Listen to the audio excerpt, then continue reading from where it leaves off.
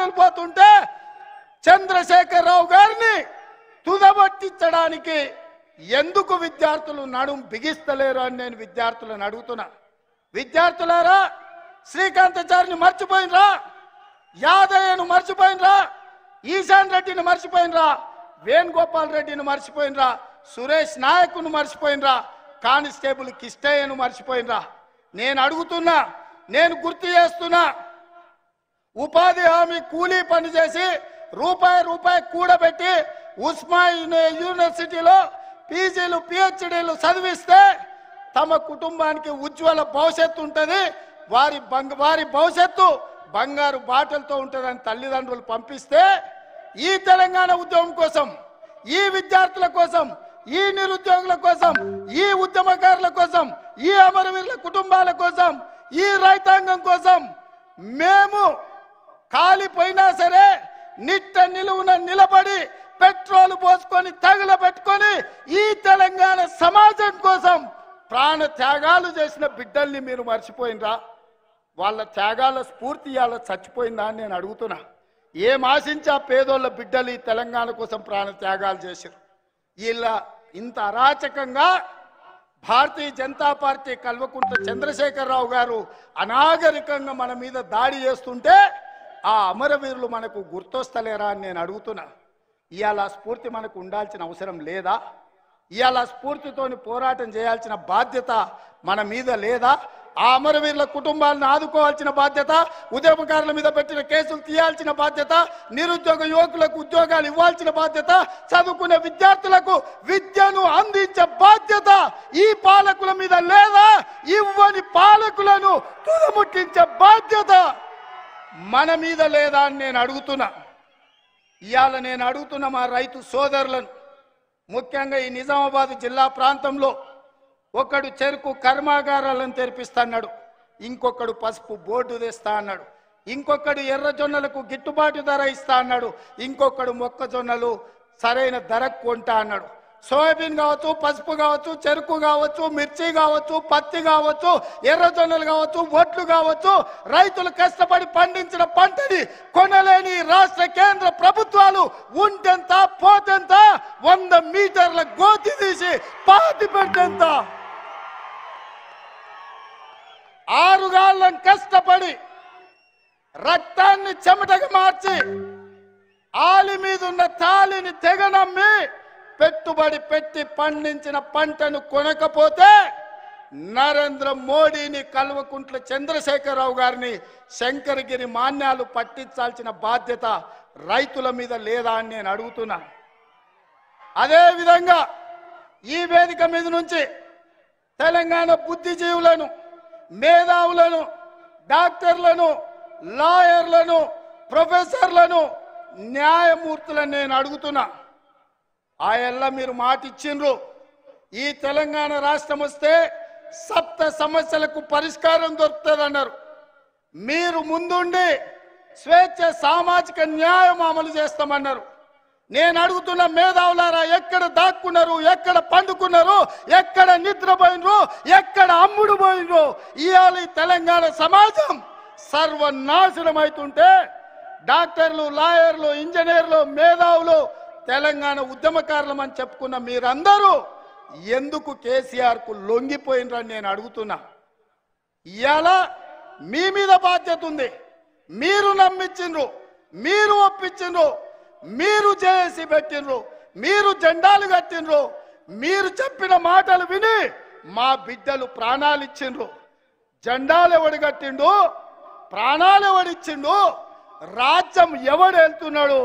బుద్ధిజీవులు తెలంగాణ మేధావులు తెలంగాణ సమాజానికి చెప్పాల్సిన బాధ్యత ఉన్నది. అందుకే మిత్రులారా రాష్ట్రం కేంద్రం ప్రమాదం వైపు వేగంగా పయనిస్తుంది.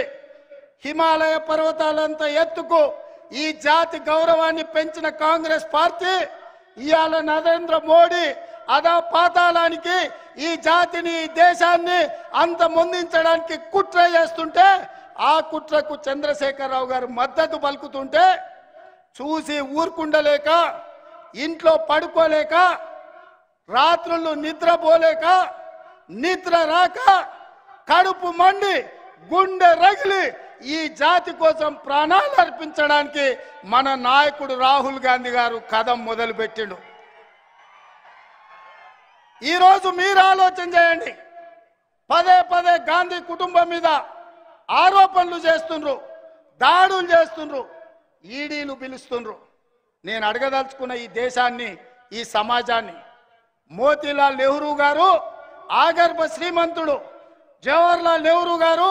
ఆ రోజుల్లోనే విదేశాలలో చదువుకుని బట్టలు ఉతికించుకోవడానికి కూడా విదేశాలకు పంపించినంత ఆగర్భ శ్రీమంతులు. అక్కడి నుంచి మొదలు పెడితే ఈ డెబ్బై ఐదు సంవత్సరాలలో జవహర్లాల్ నెహ్రూ ఇందిరాగాంధీ గారు రాజీవ్ గాంధీ గారు సోనియా గాంధీ గారు రాహుల్ గాంధీ గారు చివరికి ఈ డెబ్బై ఐదేళ్ళు ఢిల్లీలో ప్రభుత్వం ఇచ్చిన అత్యంత సామాన్యమైన ప్రభుత్వ క్వార్టర్లలో బతుకుతున్నారు. ఈ దేశం కోసం ప్రాణాలు ఇచ్చి ఈ దేశం కోసం సర్వం త్యాగం చేసిన రాహుల్ గాంధీ గారి కుటుంబం అవినీతికి పాల్పడుతుందా? ఒకవేళ సొమ్మే తీసుకుంటే వాళ్ళు చేసుకునేదేంది? ప్రభుత్వ బంగళాలలో కనీస సౌకర్యాలు ఉన్నా లేకపోయినా నిరాడంబర జీవితం గడుపుతున్న గాంధీ కుటుంబాల మీద ఎవడైనా అవినీతి ఆరోపణలు చేస్తే వాడు పురుగులు పడి చస్తాడని చెప్పి నేను ఈ వేదిక మీద నుంచి చెప్పదలుచుకున్నా. ఇవాళ వారి పార్టీ దయతోని ఉన్న మేము అత్యంత విలాసవంతమైన బంగళాలల్లో జీవితం గడుపుతున్నాం. ప్రపంచంలోనే అత్యంత ఖరీదైన కార్లలో మేము తిరుగుతున్నాం. కానీ స్వయంగా నేను సోనియా గాంధీ గారు రాహుల్ గాంధీ గారి జీవన ప్రమాణాల్లో నేను గమనించిన అత్యంత సామాన్యమైన నివాసాలలో అతి మామూలు కార్లలో ప్రయాణిస్తూ వారు దేశానికి ఆదర్శంగా ఉండే నీతి నిజాయితీతో కూడుకున్న జీవితాన్ని గడుపుతున్నారు. వాళ్ళ మీద అవినీతి ఆరోపణలు ఎవడైనా చేస్తే ఎడంకాలి చెప్పుతో కొట్టాలి వారిని అవినీతి ఆరోపణలు చేస్తోళ్ళను అందుకే మిత్రులారా ఇవాళ ఈ తెలంగాణ నిర్మించుకోవడానికి ఈ తెలంగాణలో స్వేచ్ఛ లేదు సామాజిక న్యాయం లేదు స్వయం పాలన లేదు విద్యార్థులు నిరుద్యోగులు అమరవీరుల కుటుంబాలు రైతులు దళితులు గిరిజనులు అందరూ ఇవాళ అవమానానికి గురవుతుండ్రు దోపిడికి లోనవుతుండ్రు. అందుకే ఈ పదహారు రోజులు రాహుల్ గాంధీ గారు పాదయాత్రలో మమేకమై లక్షలాది మంది తమ బాధల్ని వారికి చెప్పుకుండ్రు. మనకు బాధ అయితే దుఃఖం వస్తే మనం పరిష్కరించుకోలేని సమస్యలు ఉంటే తిరుపతి వెళ్ళి వెంకన్న స్వామికి విజ్ఞప్తి చేసుకుంటాం. అదే విధంగా ఇవాళ తెలంగాణ సమాజం వెంకన్న స్వామికి చెప్పుకోలేని సమస్యలు పరిష్కారం కాని సమస్యల్ని మన నాయకుడు రాహుల్ గాంధీ గారికి చెప్పుకున్నారు. ఈ వేదిక మీద నుంచి పిసిసి అధ్యక్షుడిగా భారత్ జోడో యాత్రలో రాహుల్ గాంధీ గారితో కలిసి పనిచేయడం ఈ జన్మ ధన్యమైంది. ఈ క్షణం ఈ క్షణం ఈ వేదిక మీద చచ్చిపోయినా నాకు బాధ లేదు. అంత అద్భుతమైన అవకాశం భారత్ జోడోలో వారితో కలిసి పనిచేయడానికి అవకాశం వచ్చింది. అందుకే మిత్రులారా రాబోయే సంవత్సరం మనం ఎవ్వరం నిద్రపోవద్దు. ఒక్క క్షణం వృధా చేయొద్దు. ఇండ్ల తల్లిదండ్రులకు చెప్పండి సెలవు పెట్టండి. అన్నలారా తమ్ముళ్ళారా మీరందరూ అక్కలారా చెల్లెళ్ళారా తల్లిదండ్రులకు చెప్పండి. ఈ జాతి కోసం ఈ దేశం కోసం ఈ రాష్ట్రం కోసం కాపాడడానికి సంవత్సరం సమయం ఇద్దాం. రాష్ట్రంలో కేంద్రంలో కాంగ్రెస్ను అధికారంలోకి తెద్దాం. అన్ని సమస్యలకు పరిష్కారం కాంగ్రెస్ పార్టీ అధికారంలోకి రావడం. రాహుల్ గాంధీ గారు ఈ దేశానికి ప్రధానమంత్రి అవ్వడం. ఇవాళనే సూటిగా సవాలు విసురుతున్న నరేంద్ర మోడీని గాల్లో తిరుగుతూ గాలి మోటార్లో తిరుగుతూ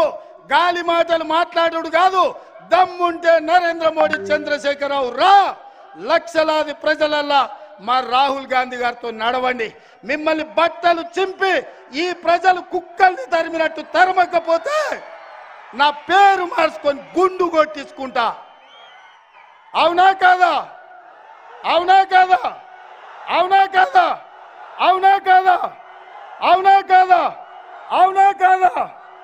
జోడో జోడో! ఢిల్లీలో ఉండే మోడీ గుండెలెదరాలే ఫామ్ హౌస్లో వండిన కేసీఆర్ ఉనికి పడి మంచం మీద నుంచి కింద పడాలి. జోడో జోడో! జోడో జోడో! జోడో జోడో! ఈ కార్యక్రమానికి ముఖ్య అతిథులు పాదయాత్ర రథసారథి ఈ దేశానికి దశ దిశ దిక్సూచి త్యాగాల వారసత్వం సాహస వీరుడుగా ప్రపంచమే అబ్బురపడే విధంగా నిటారుగా నిలబడి తల తెగిపడిన కడుపులో పేగులు తెగే వరకు నరేంద్ర మోడీ అమిత్ షా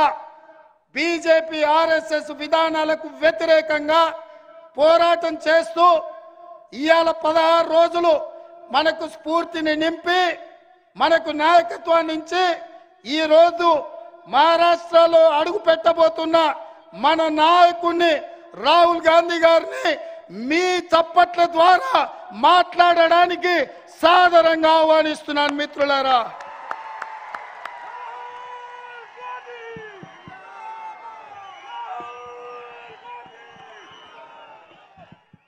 వాల్యూమ్ పెంచు వాల్యూమ్ పెంచు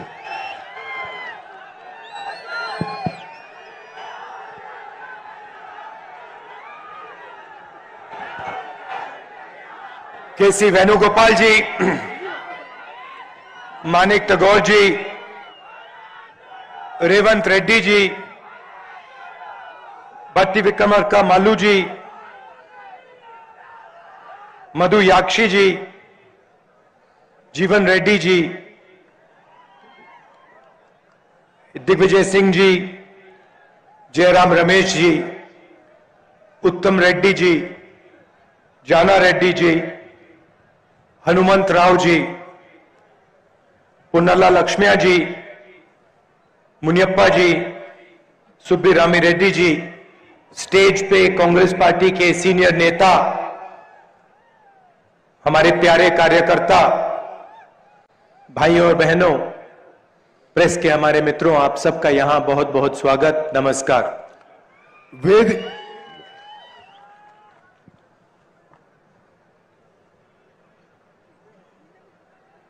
कुछ दिन से ये यात्रा कन्याकुमारी से कश्मीर की ओर चल रही है కొద్ది రోజుల నుంచి కన్యాకుమారి నుంచి కాశ్మీర్ వరకు ఈ యాత్ర కొనసాగుతుంది दस बारह दिन से हम तेलंगाना में पैदल चल रहे हैं పది పన్నెండు రోజుల నుండి తెలంగాణలో పాదయాత్ర కొనసాగిస్తున్నాము और आज शाम हम तेलंगाना को छोड़कर महाराष्ट्र की सड़कों पर चलने जा रहे हैं ఈ రోజు సాయంత్రము తెలంగాణను విడిచిపెట్టి మహారాష్ట్రలో ప్రవేశించబోతున్నాము खुशी हुई कि तेलंगाना के इतने लोगों से बातचीत कर पाया हाथ मिला पाया गले लग पाया చాలా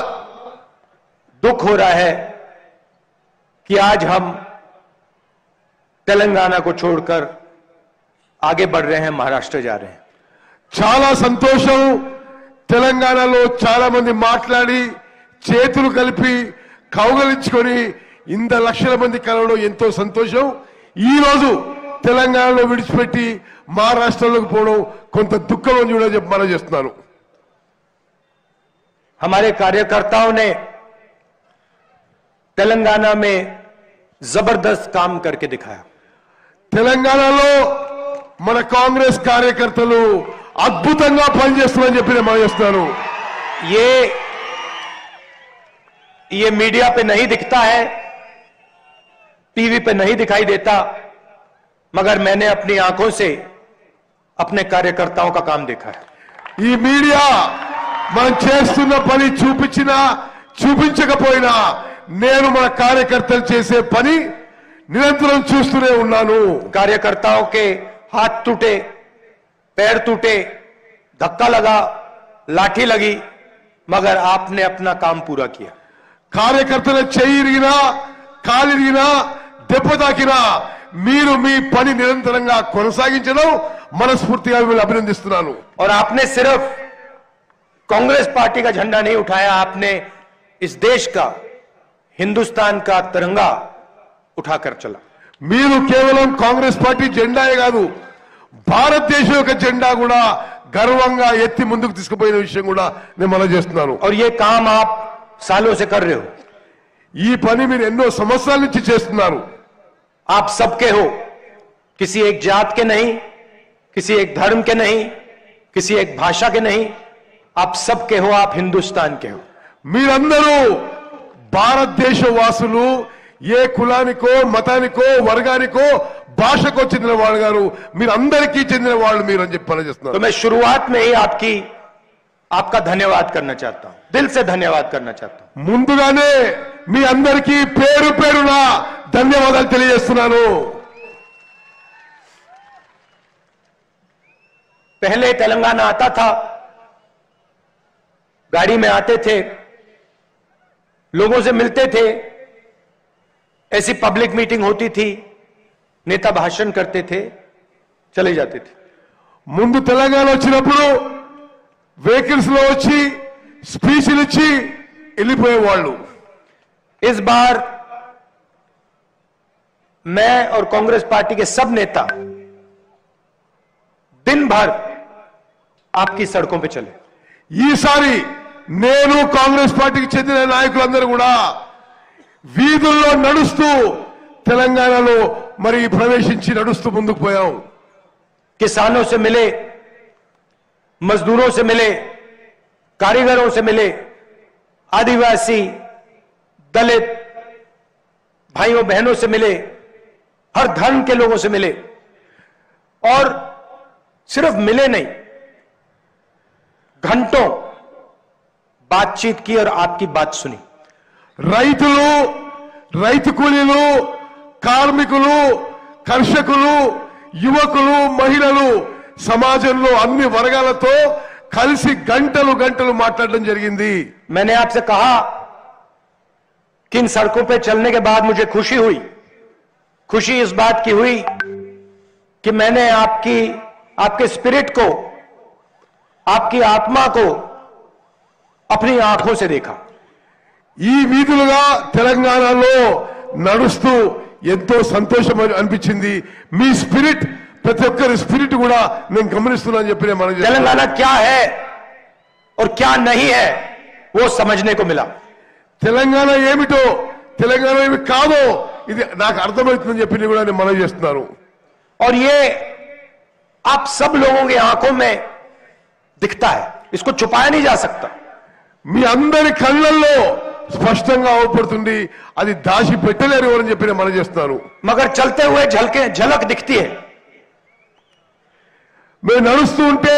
చాలా విషయాలు గమనించాం मैं आपको एक उदाहरण देना चाहता हूं ఒక మీకు ఉదాహరణ ఇస్తే నేను यात्रा पे मैं चल रहा था सब चल रहे थे तो जब चलते हैं इस साइड देखते हैं लोगों को नमस्कार करते हैं इस साइड देखते हैं लोगों से बात करते हैं రోడ్డు పొడవులో నడుస్తూ పోతూ ఒక సైడ్ నమస్కారం పెడుతూ ఒక సైడ్ కలుస్తూ మాట్లాడుతూ ముందుకు ఈ పాదయాత్రలో కొనసాగడం జరిగింది कुछ दिन पहले हम चल रहे थे मैंने पीछे से अपनी आंख से देखा छोटा सा बच्चा अंदर आने की कोशिश कर रहा था నడుస్తూ ఉంటే నేను స్వయంగా చూసిన ఒక చిన్న పిల్లవాడు వెనక నుంచి మా దగ్గర రావడానికి ప్రయత్నం చేస్తున్నాడు काफी भीड़ थी मैं सोच रहा था इस बेचारे को चोट ना लग जाए చాలా మంది జనం ఉండే కాబట్టి ఆ పిల్లవానికి దెబ్బ తాకొద్దని చెప్పి నేను కోరుకున్నా मगर मैंने कुछ किया नहीं बुलाया नहीं నేనేం చేయలేదు ఏం పిలవలేదు కూడా मैं देखना चाहता था कितना दम है लड़के में నేను చూడదలుచుకున్నా ఆ పిల్లగానిలో ఎంత సాహసం ఉందో చూద్దాం అనుకున్నాను क्या ये एक दो थक्के धक्के खा के भाग जाएगा या फिर ये कोशिश करेगा అతను ప్రయత్నం చేసి మా దగ్గరకు వస్తాడా లేదా ఒకరిని దెబ్బలు తిని వెనక్కి పోతాడా అని చెప్పి నేను జాగ్రత్తగా గమనిస్తున్నాను तो एक प्रकार से मैंने उसकी उसका टेस्ट लेने की कोशिश की అతన్ని టెస్ట్ చేయడానికి ప్రయత్నం చేసిన నేను दो तीन बार उसने कोशिश की फिर पुलिस वाले ने उसको जोरों से धकेला वो नीचे गिर गया రెండు సార్లు రెండు మూడు సార్లు ప్రయత్నం చేసిండు పోలీసు వాళ్ళు గట్టిగా నూకేస్తే అతను కింద పడ్డాడు और फिर गायब हो गया దెబ్బలు తాకినాయి అతనికి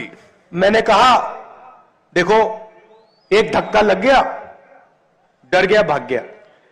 నేను చెప్పిన కింద పడ్డాడు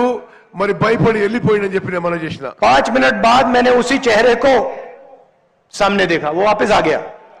ఆ- ఆ- అదే మొహాన్ని నేను మళ్ళీ ముందు చూశాను इस साइड फेल हुआ धक्का लगा छोटा सा बच्चा उसको मारा गिरा दिया सड़क पे गिरा छिल गया होगा दो मिनट के चला गया दूसरी साइड से फंसा ఆ చిన్న పిల్లవాడు నూకేస్తే కింద పడి దెబ్బలు తాకినా మళ్ళీ వేరే సైడ్ నుంచి ముందుకు రావడం నేను గమనించాను. మెనక థోడా ఆర్ టెస్ట్ కడతాం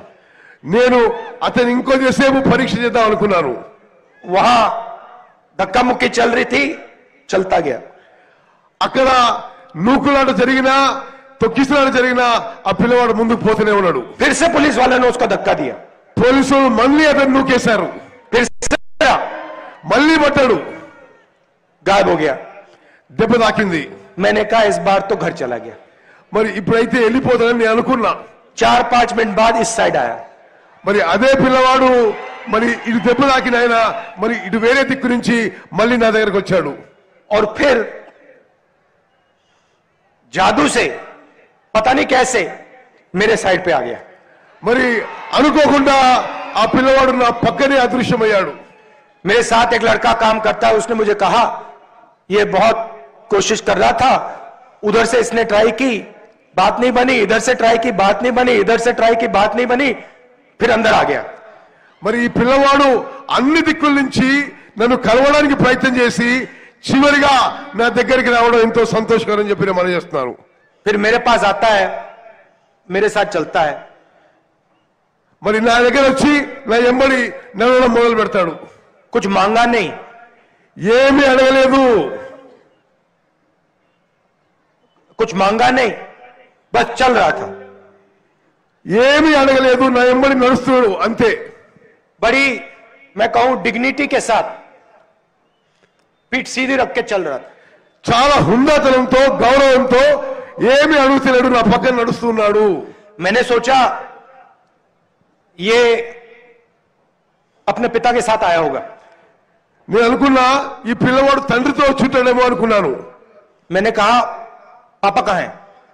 నేను అడిగినా మీ తండ్రి ఎక్కడా అని అడిగినా कहते हैं पापा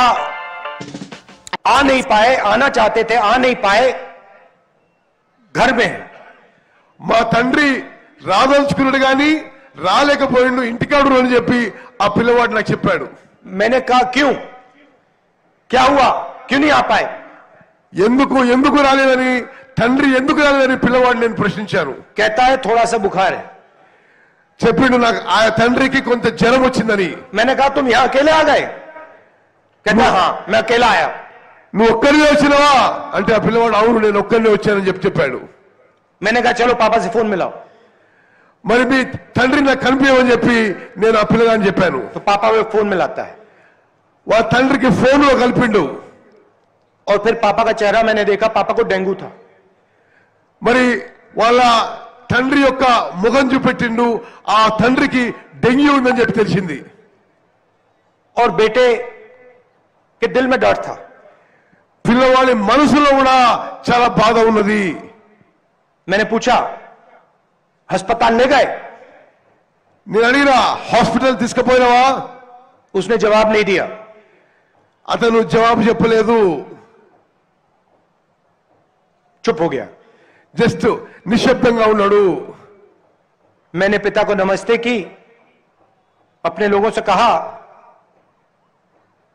चेक करवाएं अस्पताल भेजने की कोशिश करें నేను ఆ పిల్లవాని తండ్రిని నా మనుషులకు చెప్పిన ఆ పిల్లవాని తండ్రిని హాస్పిటల్ తీసుకోమని చెప్పి చెప్పడం జరిగింది अब आप देखो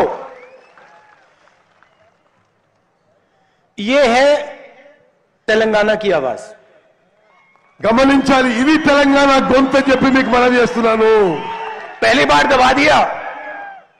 कहीं और से निकलेगी ఒకసారి దెబ్బ తాకితే మరోసారి మళ్ళీ ప్రయత్నం మొదలు పెట్టిండు उधर दब गई तो इधर से निकलेगी అటు దెబ్బ తగిలితే మళ్ళీ వేరే దిక్కు నుంచి నా और దిక్కు इधर दब गई तो फिर इधर से निकलेगी మరి అన్ని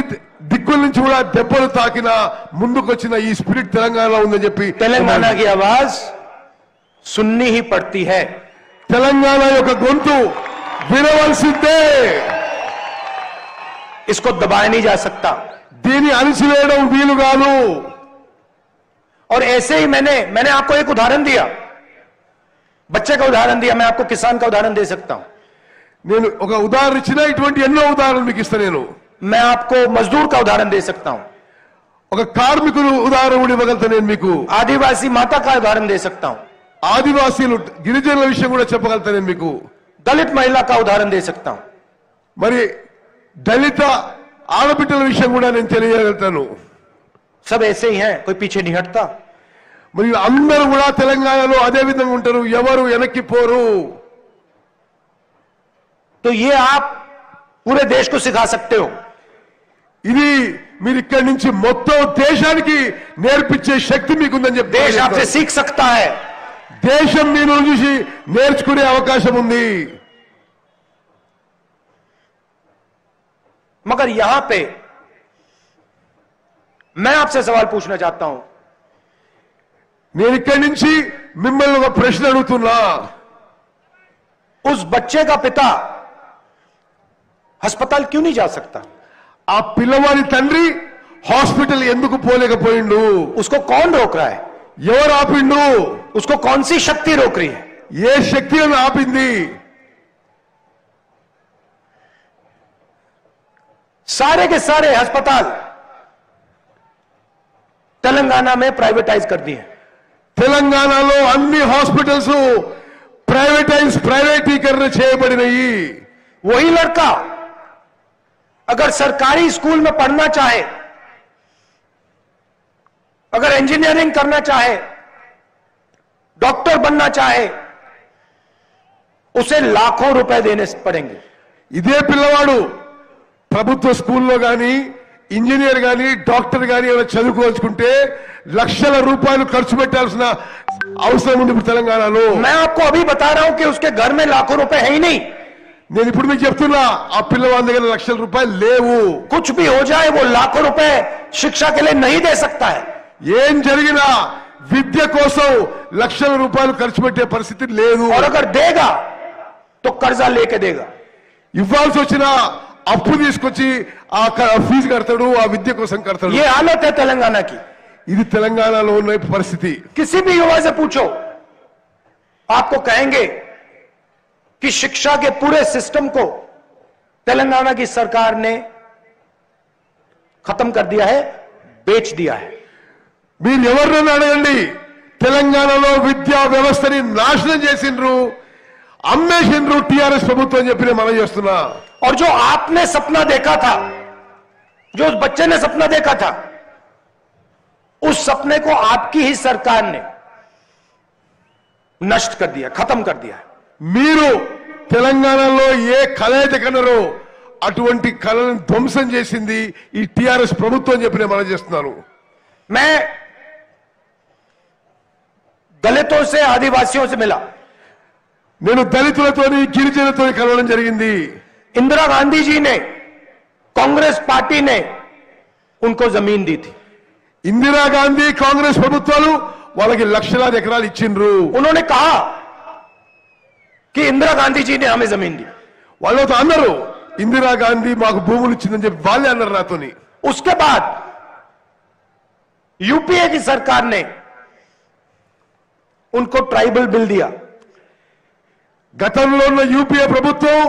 వాళ్ళకి ట్రైబల్ బిల్ ఇచ్చింది उस बिल को आपकी सरकार इंप्लीमेंट नहीं कर रही ఇక్కడి ప్రభుత్వం అది అమలు చేయడం లేదు फाइल को बंद करके दराज में रख दिया है ఆ ఫైల్ ను మూసేసి పక్కన పడేసింది టిఆర్ఎస్ ప్రభుత్వం और उल्टा आपकी जमीन हर रोज आपसे छीनी जा रही है దళితులకి గిరిజనులకి టిఆర్ఎస్ ప్రభుత్వం మీకు భూములు ఇవ్వకపోగా మీ భూములు లాక్కుంటుంది టిఆర్ఎస్ और आपकी जमीन का अधिकार जो आपकी है उसका अधिकार आपको नहीं मिलता మీ భూములపై మీ అధికారం ఈ టిఆర్ఎస్ ప్రభుత్వం లాక్కుంటుంది మించింది మనం చేస్తున్నాను मैं आपको स्टेज से सीधा कह रहा हूं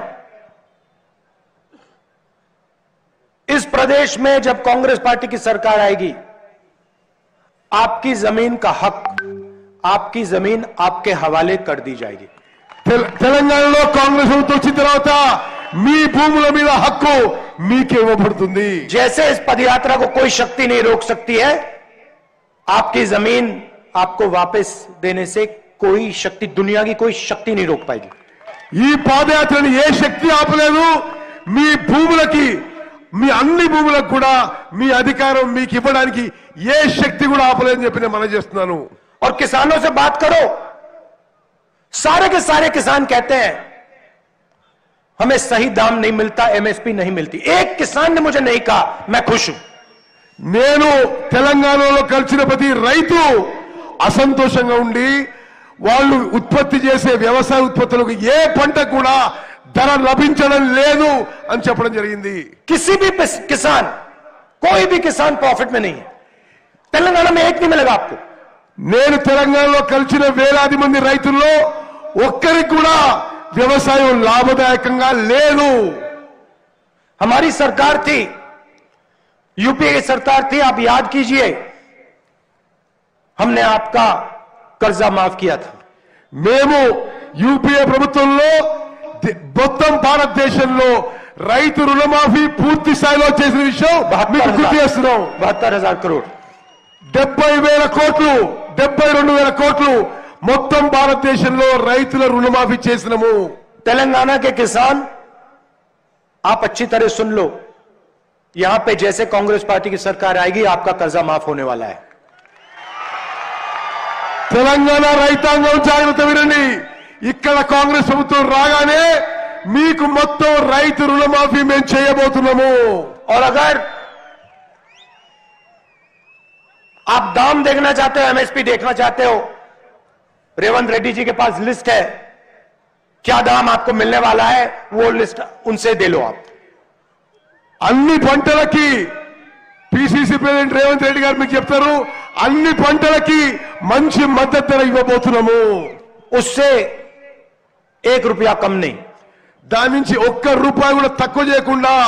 మద్దతు ధరకి కొనుగోలు చేయబోతున్నాము यहां पे सुबह आपके चीफ मिनिस्टर इरिगेशन प्रोजेक्ट्स का पैसा देखते हैं ఇక్కడ ముఖ్యమంత్రి పొద్దున పూట ఇరిగేషన్ ప్రాజెక్టులలో కమిషన్ల గురించి లంచాల గురించి ఆలోచన చేస్తుంటాడు रीशेड्यूल करते हैं ఆ ఇరిగేషన్ ప్రాజెక్టులని రీషెడ్యూల్ రీడిజైన్ చేస్తుంటాడు और रात को शाम को कंप्यूटर पे धरनी पोर्टल खोलते हैं రాత్రిపూట ఈ ముఖ్యమంత్రి ఆయన కంప్యూటర్ మీద ధరణి పోర్టల్ తెరుస్తాడు कहां से कितना पैसा मिल रहा है वो देखते हैं ఎక్కడి నుంచి ఎన్ని పైసలు ఎవరికి వస్తున్నాయని గమనిస్తాడు कौन से किसान कौन से दलित कौन से आदिवासी से जमीन छीनी जा रही है पूरी पूरी लिस्ट उनके पास ఏ రైతు దగ్గర ఏ దళితుడి దగ్గర ఏ గిరిజన దగ్గర భూములు లాక్కుందామో అని ఆలోచన చేస్తాడు इससे तेलंगाना को कोई फायदा नहीं हो रहा है దీనివల్ల తెలంగాణకి ఏమీ లాభం జరగడం లేదు इससे तेलंगाना के युवाओं को रोजगार नहीं मिल रहा है దానివల్ల తెలంగాణ యువతకి ఉద్యోగాలు ఉపాధి కల్పించడం లేదు किसानों को फायदा नहीं हो रहा है गरीबों को फायदा नहीं हो रहा है రైతులకి నిరుపేదలకి ఏమీ లాభం జరగడం లేదు चुने हुए लोगों की सरकार चल रही है और पूरा का पूरा फायदा पांच दस लोगों को मिल रहा है ఈ ప్రభుత్వం ఒక ఐదు పది మందికి లాభం కలిగించడానికే ఈ టిఆర్ఎస్ ప్రభుత్వం నడుస్తున్నది दूसरी तरफ नरेंद्र मोदी जी हैं మరి వేరే పక్కన ఢిల్లీలో నరేంద్ర మోదీ ఉన్నాడు अच्छा ये दोनों मिलकर काम करते हैं నరేంద్ర మోదీ కేసీఆర్ కలిసి పనిచేస్తున్నారు लोकसभा में बैठता हूं कोई भी बिल नरेंद्र मोदी जी लाते हैं पूरा का पूरा समर्थन टीआरएस देती है నేను లోక్సభ సభ్యుడిగా చెప్తున్నా నరేంద్ర మోదీ ఏ చట్టాన్ని పార్లమెంట్ లో తీసుకొచ్చినా కేసీఆర్ టిఆర్ఎస్ పార్టీ నరేంద్ర మోదీకి పార్లమెంట్ లో మద్దతు పలుకుతున్నారు जब किसानों के खिलाफ नरेंद्र मोदी जी तीन कानून काले कानून लाए टीआरएस ने अपना पूरा समर्थन दिया పార్లమెంట్ లో రైతు వ్యతిరేక చట్టాలు నరేంద్ర మోదీ తీసుకొచ్చినప్పుడు కేసీఆర్ టిఆర్ఎస్ పార్టీ ఎంపీలు నరేంద్ర మోదీకి మద్దతు పలికిండ్రు सारे के सारे विपक्ष की पार्टियों ने बिल के खिलाफ खड़े हो गए टीआरएस मोदी जी के साथ ఈ రైతు వ్యతిరేక చట్టాలపై ప్రతిపక్షాలు అన్ని వ్యతిరేకించిన టిఆర్ఎస్ పార్టీ నరేంద్ర మోదీ పక్షాన్ని నిలబడ్డది तो दोनों एक साथ काम करते हैं ये आप भूलिए मत BJP TRS Narendra Modi KCR కలిసి పనిచేస్తారు ఎప్పుడు మర్చిపోవద్దు మీరు काम क्या है काम है गरीबों से उनका पूरा धन किसानों से मजदूरों से जो उनका है वो छीन कर तीन चार मित्रों को देने का काम है వీళ్ళిద్దరు కూడా రైతుల నుంచి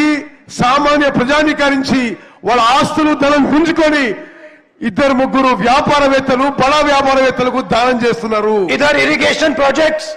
और धरनी पोर्टल ఇక్కడనేమో ఇరిగేషన్ ప్రాజెక్టులు ధరణి పోర్టల్ दूसरी तरफ नरेंद्र मोदी जी हिंदुस्तान के पूरे के पूरे पब्लिक सेक्टर को प्राइवेटाइज करने में लगे हैं అక్కడ నరేంద్ర మోదీ భారతదేశం యొక్క ప్రభుత్వ రంగ సంస్థలు అన్ని కూడా ప్రైవేటీకరణ చేస్తున్నాడు ఇక్కడ కేసీఆర్ ఇరిగేషన్ ప్రాజెక్టులు ధరణి పోర్టల్ ద్వారా లాభపడుతున్నాడు बीएचईएल रेलवेज जहां भी ये पब्लिक सेक्टर देखते हैं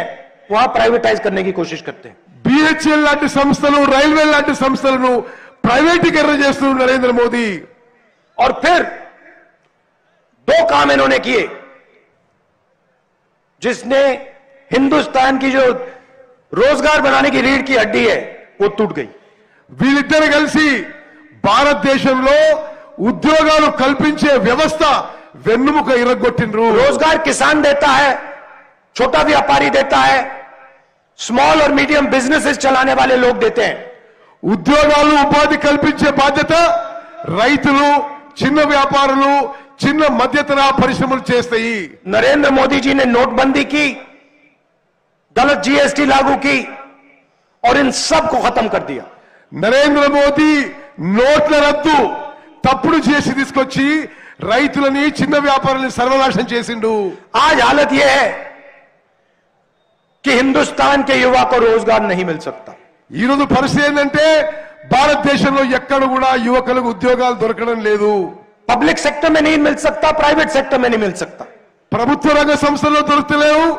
ప్రైవేట్ రంగ సంస్థల్లో కూడా ఉద్యోగాలు దొరుకుతలేవు और इससे पूरे देश में डर फैल रहा है దీంతో దేశవ్యాప్తంగా భయాందోళనలు వ్యాపించిపోతున్నాయి किसानों को एमएसपी नहीं मिलती कर्जा माफ नहीं होता उनके दिल में डर पैदा होता है రైతులకి అప్పులు మాఫ్ కావు ఎంఎస్పి రావు రైతులకి భయాందోళన ఈ నరేంద్ర మోదీ సృష్టిస్తున్నాడు पब्लिक सेक्टर को प्राइवेटाइज किया जाता है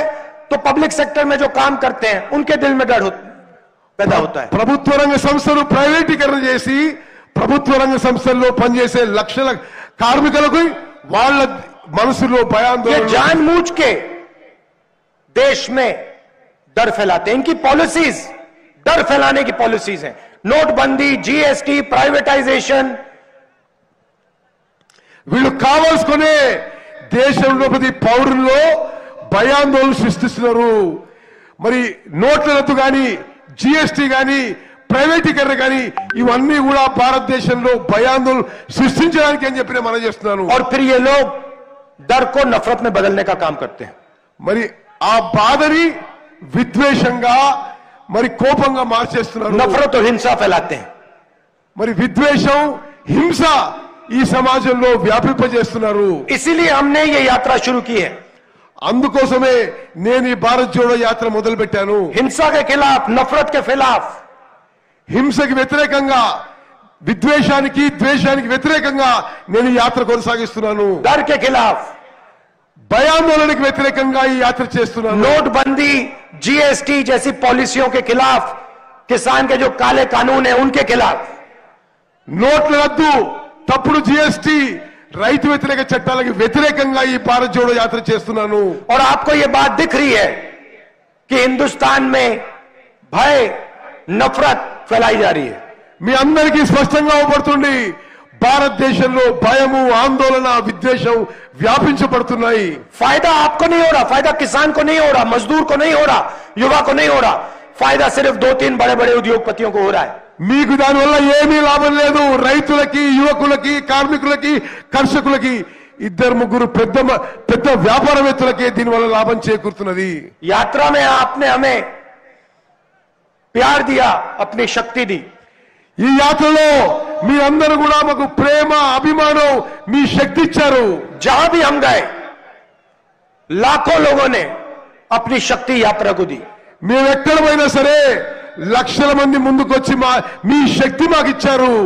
इसके लिए मैं आपको और पूरी कांग्रेस पार्टी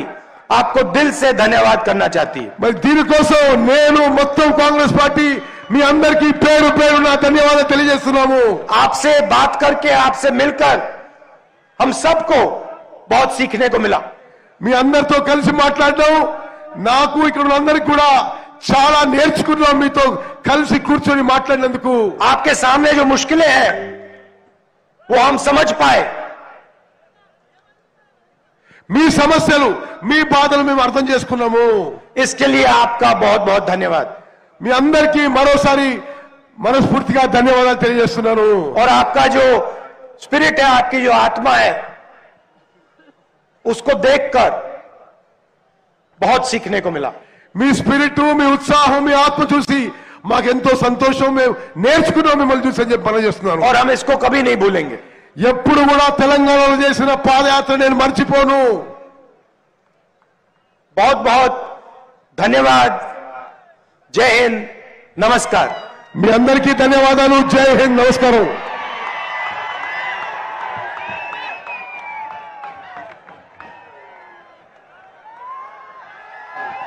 వేలాదిగా తరలి వచ్చిన ప్రజలందరూ కూడా కృతజ్ఞతలు తెలుపుతూ